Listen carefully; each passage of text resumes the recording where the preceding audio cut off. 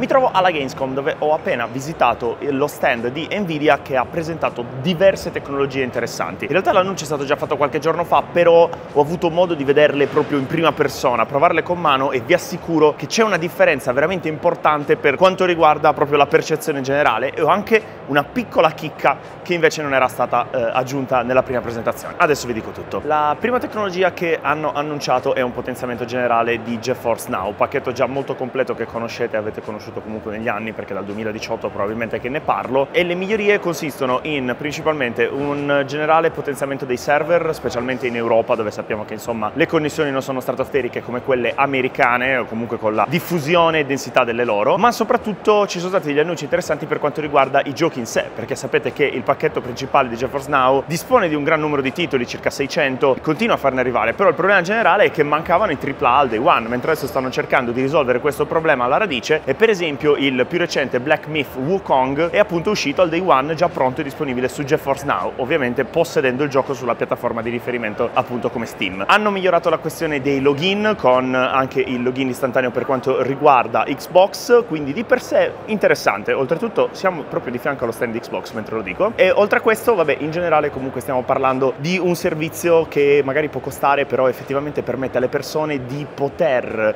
approcciare il PC gaming in maniera interessante e senza spendere quanto spenderebbero per un PC completo o magari per poter rimandare ancora un pochettino l'upgrade su appunto giochi molto complicati e molto pesanti come Black Myth Wukong, quindi figo. Altra tecnologia già disponibile che invece è stata potenziata è quella del G-Sync, infatti Nvidia ha stretto una partner con MediaTek per realizzare dei sampler che permettono l'abilitazione della tecnologia nella sua maniera definitiva, quindi non compatible ma proprio G-Sync vero e proprio, direttamente all'interno del sampler, in questo caso appunto prodotto e fornito da MediaTek. Per quanto riguarda la disponibilità nei monitor dovrebbe arrivare su Acer, Asus e AOC, mi hanno segnalato questi tre in particolare, e per il resto stiamo parlando di una tecnologia che permette l'implementazione di G-Sync Pulsar, che magari a occhio vi può sembrare semplicemente un normale aggiornamento del G-Sync, ma in realtà introduce secondo me delle novità molto interessanti perché permette effettivamente di vedere molto meglio piccoli dettagli. Secondo me per chi fa gaming competitivo di altissimo livello, e vi parlo anche soltanto di un Counter Strike 2, la definizione e la visibilità dei dettagli che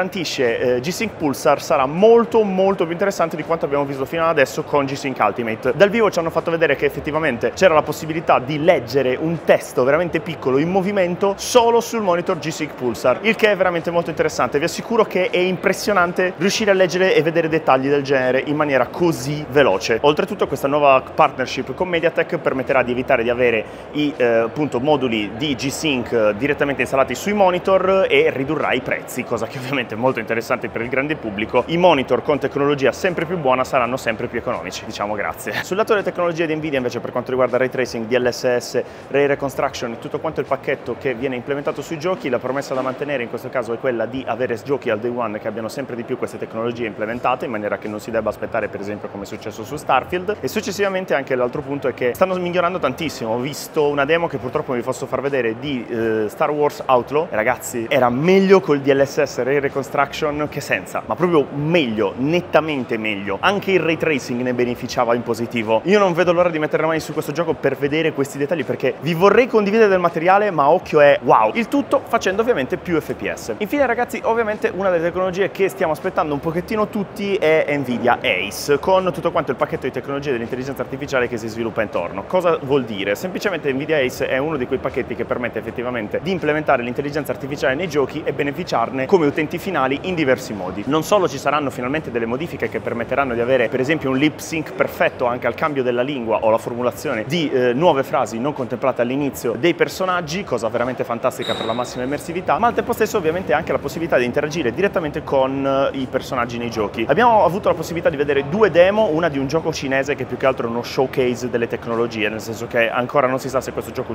uscirà ufficialmente, ma stiamo parlando proprio di una situazione in cui il presentatore di Nvidia ci faceva vedere come lui potesse interagire vocalmente con questo personaggio nel gioco, ma non solo col microfono, infatti si aggiungeva anche la componente visiva. Attraverso la webcam il gioco era in grado di decodificare e capire gli oggetti che venivano messi di fronte dal conduttore di Nvidia per poter appunto chiedere cose come va bene questa spada per affrontare il mio prossimo nemico? È un, ovviamente una demo teorica, nel senso non è una cosa che di per sé trova effettivo spazio, non è che usare il fiore piuttosto che la spada selezionata nel mondo reale avesse un'influenza sul gioco finale, però di per sé pensate alle possibilità in un futuro magari di, non lo so, giochi horror sempre più interattivi sotto questo punto di vista. Do you think maybe this would help you? That flower might be useful. What do you know about it? Uh, not very much actually, but maybe I could use this weapon to defend your tribe? That weapon looks sturdy.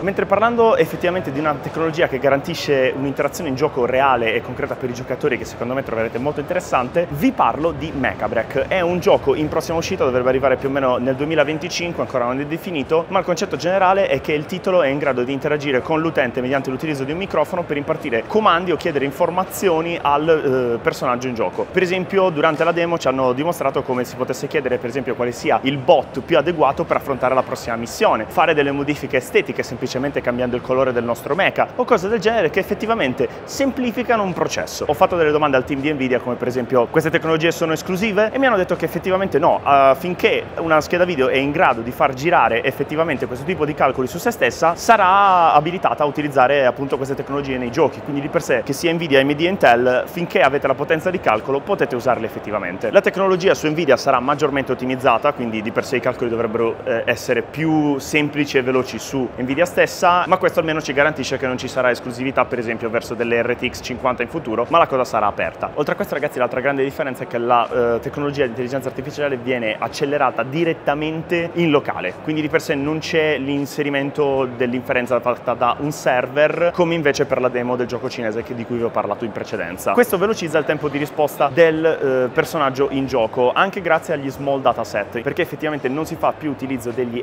LLM ma degli small language model cosa che permette di avere quindi una minore porzione di testo da calcolare avere delle cose un po' più settoriali che aiutino effettivamente a ridurre l'impatto anche prestazionale. A proposito di questo mi hanno detto che di per sé la tecnologia non dovrebbe avere un impatto prestazionale generale in quanto verrà accelerata su una unità di calcolo che non dovrebbe interferire in alcun modo sugli FPS finali. Potrebbe esserci qualche leggerissimo calo ma vedremo con i test ufficiali quando usciranno effettivamente questo tipo di tecnologie. Infine ultima tecnologia molto interessante che hanno presentato è finalmente una versione finale di Half-Life 2 RTX realizzato con la tecnologia RTX Remix. Ragazzi se vi dico che la differenza è abissale è dir poco, cioè lo hanno preso un gioco di 20 anni fa esatto e l'hanno reso un titolo moderno. Ora è giocabilissimo ed è una cosa fantastica perché sono anni che dico che ci sono tanti vecchi giochi che hanno delle dinamiche di narrazione, delle dinamiche di gioco, cose così molto interessanti e che magari la nuova generazione o comunque anch'io stesso, magari se sono un po' più vecchi, non giochiamo perché? Perché sono vecchi oggettivamente, magari la grafica non ci sconfinfera o cose del genere e questo è un peccato. Con tecnologie del genere non solo gli sviluppatori ma anche i modder saranno in grado di avere un pacchetto di strumenti che li aiuti effettivamente a trovare la possibilità di creare dei giochi che l'utenza poi appunto voglia poter sperimentare,